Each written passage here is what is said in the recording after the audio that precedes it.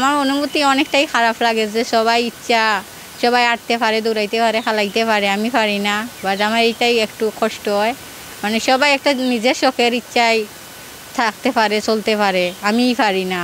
এইসব নিয়ে কষ্ট হয় একটু। তার বাদে কষ্ট হয় না, আল্লাহর ইচ্ছে আমার আল্লাহ দিয়া দিস তার বাদে আমি, আমার চেষ্টা আমি চালাইয়া যাই, আমি কর্ম, আমি অনেক বড় হইম নিজের ফায়দা দাঁড়াই অদম্য শক্তিতে অনেক বাধাই পেরিয়ে গেলেন জুরির মোনা বেগম। জন্মগতভাবে শারীরিক প্রতিবন্ধী হয়েও সে এবার শাহনিমাত্রা সাগুনাল ফুলতলা ডিগ্রি কলেজে একাদশ শ্রেণির ছাত্রী। সে স্বপ্ন দেখে একদিন শিক্ষক হয়ে শিক্ষার আলো ছড়িয়ে দেবে। পরিবারের হাল ধরবে সে। শত বাধা তুচ্ছ করে এগিয়ে চলার এ উদাহরণ এলাকাবাসীর কাছেও অনুকরণীয় দৃষ্টান্ত। সমাজের আর দশটা সাধারণ মানুষের মতো স্বাভাবিক নয় মোনা বেগমের জীবন। জন্মগতভাবে শারীরিক প্রতিবন্ধী সে। নিজের এক পা ও এক হাতের উপর ভর দিয়ে হাঁটে সে। ছোটবেলা থেকেই পড়াশোনার প্রতি তার আগ্রহ। মোনা বেগমের বাড়ি মৌলভীবাজার জেলার জুড়ি উপজেলার গোয়ালবাড়ি ইউনিয়নের এলাপুর চা বাগানে। শামসুদ্দিন সরকারি প্রাথমিক বিদ্যালয় থেকে পিএসসি ও সাগরনাল উচ্চ বিদ্যালয় থেকে জেএসসি ও এসএসসি পাশ করে। এখন উচ্চশিক্ষার জন্য শাহনিমাত্রা সাগরনাল ফুলতলা ডিগ্রি কলেজে পড়ছে সে। মোনা বেগম র্যাপ্টো টিভিকে বলেন, আমার বাবা একজন কৃষক, অন্যের জমি চাষ করেন। আমার আরও দুই ভাই বোন লেখাপড়া করছে। তাদের পড়ালেখার খরচ জোগাতে বাবাকে হিমশিম খেতে হয়। আমাদের অভাব অনটনের সংসার। আমি মনা বেগম, আমরা চার ভাই বোন আমরা তিন ভাই বোন পড়ালেখা করি। আর আমি ক্লাস ফাইভের পরীক্ষা দিছি বাড়ির দ্বারাই। শামসুদ্দিন আহমদ সরকারি প্রাথমিক থেকে সাগরনাল উচ্চ বিদ্যালয়ে পড়ালেখা করছি। এসএসসি পরীক্ষা দেওয়ার পরে আমি গেছি সানিমাত্রা। সাগরনাল ফুলতলা ডিগ্রি কলেজও, তারপরে এখানে ভর্তি হওয়ার একাদশ মানবিক নিয়ে পড়ি। আমার প্রিন্সিপাল স্যার আমাকে খুব হেল্প করেন, কোনো চার্জ করে না, কোনোটা চার্জ করে না। আমার ফ্রি হরিয়া দিছেন বা মাফ করিয়া দিছেন। তার বাদে আমার লেখাপড়া করছ, আমরা খুব মধ্যবিত্ত পরিবার। মানে আমরা একটু অভাবে থাকি। ও তারপরে দিন আমরা পড়ার খরচ দিতে পারি না। একদিন যদি একজনের দিনতে বাদের দিন, দুই দিন বন্ধ হয়ে যায়, আমরা দুইজন যাইতে পারি না। আর কোনো দিন তিনজনের দিলে দাঁড় করিয়া দেওয়া লাগে। এরকম অভাবে আমরা পড়ালেখা করি। মনা বেগম আরও বলেন, আমার হাঁটতে অনেক কষ্ট হয়। অন্যান্যদের মতো চলাফেরা করতে পারি না। তারপরও আমি পড়ালেখা বাদ দিব না। আমার ইচ্ছা আমি একজন শিক্ষক হব। এটাই আমার আসল স্বপ্ন। আমি মনে করি সেই স্বপ্ন আমি আটের উপরে বর দিয়ে আটি আটের উপরে বর দিয়ে আমি এক কিলোমিটার আইতে যাই এবং বৃষ্টির দিনে অনেক কষ্ট হয় আমার যাতায়াতের জন্য। মানে বৃষ্টির দিনে রাস্তা ফেক হয়ে যায়। ফেক হওয়ার মানে খাদা ফেক হইয়ার পরে আমি তো যাতায়াত করতে পারি না হাতের উপরে বর দিয়ে চলি। হাতে পায়ে জামা কাপড় অনেকটা ফেক লাগে অনেক কষ্ট হয় আমার যাতায়াতের জন্য। মানে আমার অনুভূতি অনেকটাই খারাপ লাগে যে সবাই ইচ্ছা সবাই আটতে পারে, দৌড়াইতে পারে খালাইতে পারে, আমি পারি না। বাট আমার এইটাই একটু কষ্ট হয়। মানে সবাই একটা নিজের শখের ইচ্ছায় থাকতে পারে, চলতে পারে আমিই পারি না। এইসব নিয়ে কষ্ট হয় একটু। তার বাদে কষ্ট হয় না, আল্লাহর ইচ্ছে আমার আল্লাহ দিয়া দিস তার বাদে আমি আমার চেষ্টা আমি চালাইয়া যাই, আমি কর্ম, আমি অনেক বড় হইব, নিজের ফায়দা দাঁড়াই মা বাবার মুখে আসি ফুটাইতাম এইটাই ইচ্ছা।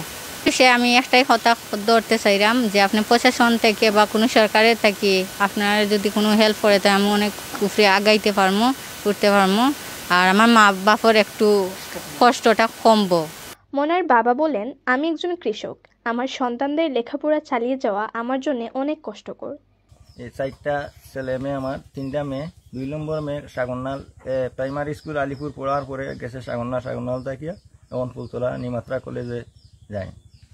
এখন আমি একলা মানে কৃষক বাগিমান্দা ক্ষেত্রস্থি করিয়া এইগুলা লেখাপড়া দিতে আমার খুব একটা কষ্ট বিনিময় এই রাস্তায় প্রায় এক কিলোমিটার লাগে, রাস্তাত গিয়া গাড়ি তুলতে এক কিলোমিটার আটিয়া যায় নাতর উপরে বড় করে করে। কোনো সময় অনেক দেওয়া যায় না, কোনো সময় মানে দাঁড় করে দিতে হয়। কোনো সময় মনে করে কোনো দেওয়া যায়, কষ্ট করি একমাত্র প্রাইমারি স্কুল থাকতে আমি সমাজসেবা থাকি বারো হাজার টাকা পাইছিলাম, সাহায্য আর পাইছি না কোনো।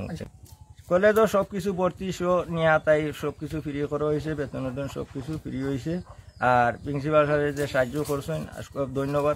এ বিষয়ে সাগরনাল উচ্চ বিদ্যালয়ের সহকারী প্রধান শিক্ষক জবারানী চাষা জানান মনা বেগম মেধাবী এবং ভালো ছাত্রী ছিল।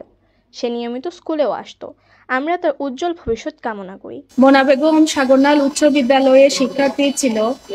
আমাদের বিদ্যালয়ে যখন সে ষষ্ঠ শ্রেণীতে ভর্তি হয় তখন তাকে নিয়ে আমরা অনেক চিন্তিত ছিলাম যে আসলে সে কি তার লেখাপড়াটা সম্পন্ন করতে পারবে কিনা। কিন্তু আমরা দেখেছি যে মোনা বেগম তার পড়ালেখার প্রতি একনিষ্ঠ ছিল। শারীরিক প্রতিবন্ধকতা সত্ত্বেও সে কখনোই স্কুল বাদ দেয় নাই। কি শীত, কি বর্ষা, সব সময় সে অনেক কষ্ট করে বিদ্যালয়ে প্রতিদিন আসতো। এবং দু হাজার তেইশ সালে আমাদের বিদ্যালয় থেকে কৃতিত্বের সহিত সে- এসএসসি পাশ করছে এবং বর্তমানে সে শাহ নিমাত্রা সাগরনাল ফুলতলা ডিগ্রি কলেজে একাদশ শ্রেণীতে অধ্যয়ন করছে।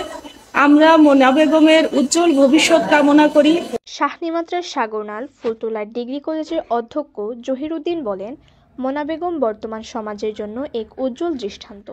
সে দেখিয়ে দিচ্ছে যে লেখাপড়ার প্রতি আগ্রহ আর ইচ্ছে শক্তি থাকলে কোনো কিছুই বাধা দিতে পারে না। শুধু সে মনা বেগম, শুধু একজন ছাত্র নয়, সে একজন দৃষ্টান্ত। যে সে যদি এই লেভেলে পারে, অন্যান্য প্রতিবন্ধী যারা শারীরিক, তারা যদি বিভিন্ন ভাবে এভাবে পারে, তাহলে বাকিরা কেন পারবে না? এদেরকে আমরা মনে করি এরা দৃষ্টান্ত। তাদেরকে আমরা মানে প্রমোট করতে চাই সমাজ এবং রাষ্ট্রের কাছে যে এরা কোনো সমস্যা নয় তারা যদি সঠিক পথে চালিত হয়। এই জন্য এদেরকে কেবল ছাত্র মনে করি না। তাদেরকে যে আমরা ফ্রি দিচ্ছি, এটাও খুব একটা বড় বিষয় নয়। তাদের মাধ্যমে আমরা সমাজকে সচেতন করতে পারি অনেক অভিভাবককে সচেতন করতে পারি। তাদেরকে দৃষ্টান্ত হিসেবে আমরা প্রমোট করতে পারি।